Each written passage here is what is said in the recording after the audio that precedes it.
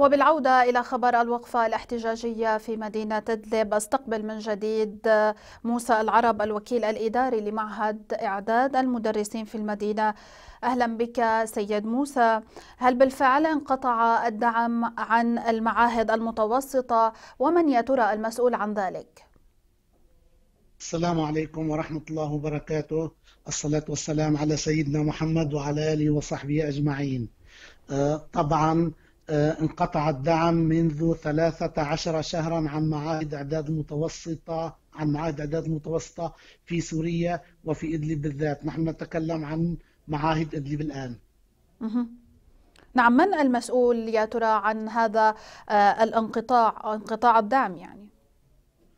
طبعا نحن بدرجة أولى نتبع إلى وزارة التربية في الحكومة السورية المؤقتة. ونحمل مسؤولية انقطاع الدعم للحكومة المؤقتة ولوزارة التربية طبعا طب لماذا تخلت الحكومة المؤقتة عن تقديم الدعم للمعاهد المتوسطة؟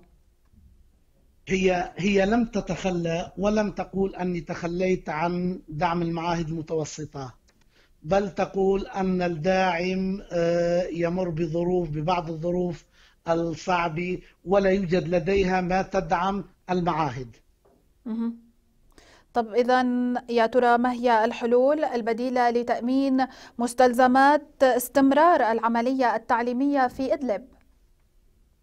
والله نحن نطالب نطالب المسؤولين في المجتمع المدني وفي المؤسسات الإنسانية وفي المنظمات التعليمية آه، المساهمة المساهمة في حل هذه المشكلة. طب وبدرجة هل... أولى الحكومة وبدرجة أولى الحكومة المؤقتة نعم. هل يا ترى ست...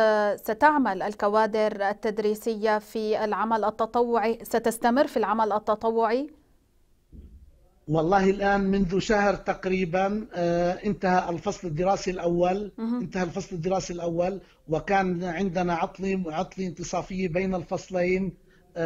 نصف شهر بعدها من بداية الأسبوع الماضي المفترض أن نكون مداومين في بداية الفصل الدراسي الثاني ولكن المدرسين أبلغونا أن الوضع لا يحتمل وليس بإمكانهم الدوام طب ما الذي ستؤول إليه حال الطلاب؟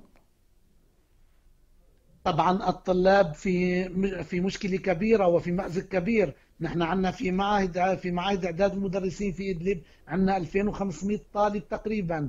2500 طالب هود راح يضيع مستقبلهم وراح تنقطع دراستهم أو تتوقف نعم. دراستهم. أشكرك جزيل الشكر الوكيل الإداري لمعهد إعداد المدرسين من مدينة إدلب الأستاذ موسى العرب.